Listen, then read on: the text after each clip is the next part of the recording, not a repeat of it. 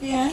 नरेंद्र मोदी जी का काम सब खुश हैं कि किस तरह से इनका काम हुआ है सबका साथ सबका विकास सबको लेके चलने वाले और देश आज आगे बढ़ रहा है।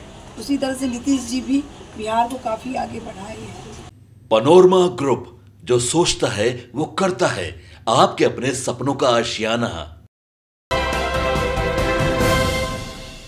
नमस्कार आप देख रहे हैं सिटी पोस्ट लाइव और मैं हूँ आपके साथ हर्षिता प्रताप सिंह। 2024 के लोकसभा चुनाव के मद्देनजर सियासी सरगर्मी तेज हो गई है। पहले चरण का मतदान हो चुका है।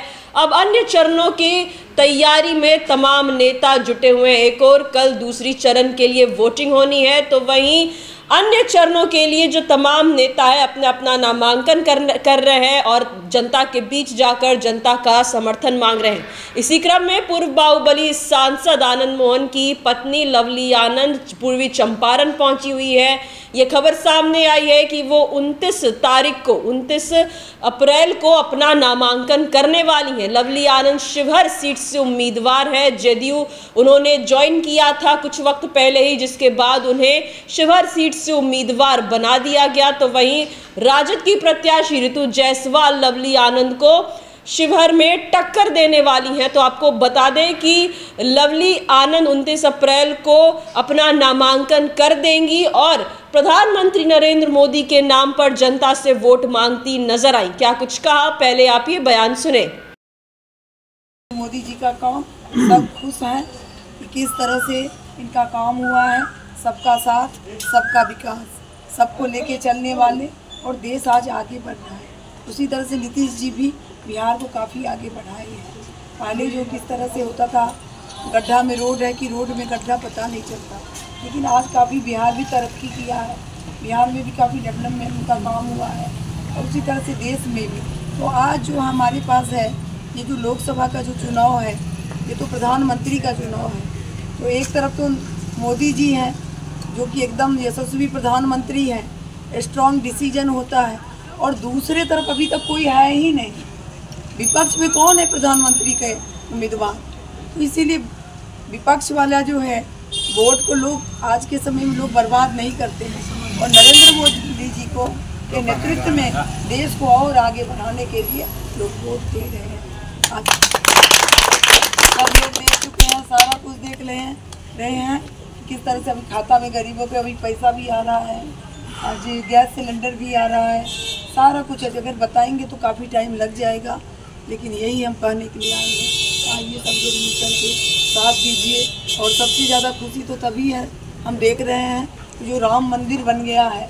लोगों को लगा कि भाई बरसों पुराना जो एक आस्था के प्रतीक भगवान राम का वो अब जा कर के ये मोदी जी के ही नेतृत्व में ये संभव हो सका है। नहीं तो आज भी राम मंदिर नहीं बनता। इससे काफ़ी लोगों में खूब खुशी है, उत्साह है और एक से एक डिसीज़न भी लिए हैं देश हित में। आगे भी अच्छा डिसीज़न रहेगा। सब लोग आप सुन रहे थे पूर्व बाहुबली सांसद आनंद मोहन की पत्नी लवली आनंद को, जो कि जदयू की प्रत्याशी है शिवहर से। राजद की उम्मीदवार ऋतु जायसवाल को टक्कर दे रही हैं। वो प्रधानमंत्री नरेंद्र मोदी के नाम पर जनता का समर्थन मांगती नज़र आई। लवली आनंद, गिनवाती नज़र आई। केंद्र सरकार की उपलब्धियाँ, साथ ही विपक्ष पर भी निशाना साधा। विपक्ष पर निशाना साधते हुए लवली आनंद कहती नज़र आई कि इनका तो कोई पीएम पद का उम्मीदवार ही नहीं है। एक और प्रधानमंत्री नरेंद्र मोदी देश के लिए इतना काम कर रहे हैं तो वहीं उनके सामने उन्हें टक्कर देने वाला तो कोई है ही नहीं। इस मुद्दे पर विपक्ष पर निशाना साधी नज़र आई। लवली आनंद साथ, जनता का समर्थन मांगा। पूर्वी चंपारण में मौजूद है लवली आनंद। शिवहर सीट से उम्मीदवार हैं और खुद को शिवहर की बहू बना, बता रही हैं लवली आनंद। और साथ ही जो महिलाएँ हैं, वहाँ की पूर्वी चंपारण में वो लवली आनंद को कपड़े भेंट कर रही हैं। एक बहू के तौर पर उनका स्वागत किया जा रहा है पूर्वी चंपारण में। शिवहर सीट से उम्मीदवार है लवली आनंद, जिसके लिए नामांकन वो 29 अप्रैल को कर देंगी। तो वही पीएम मोदी के नाम पर वोट मांगा और पीएम पद का उम्मीदवार न होने को लेकर, चुनाव न हो न पाने को लेकर विपक्ष पर भी जमकर निशाना साधती नज़र आई पूर्व बाहुबली सांसद आनंद मोहन की पत्नी लवली आनंद। तमाम मुद्दों को लेकर और क्या कुछ कहा, ये हमने आपको सुनाया। फ़िलहाल इस खबर में इतना ही। आप आगे की खबरों के लिए देखते रहिए सिटी पोस्ट लाइव। इस वीडियो को लाइक करें, शेयर करें और चैनल को सब्सक्राइब करना ना भूलें। धन्यवाद।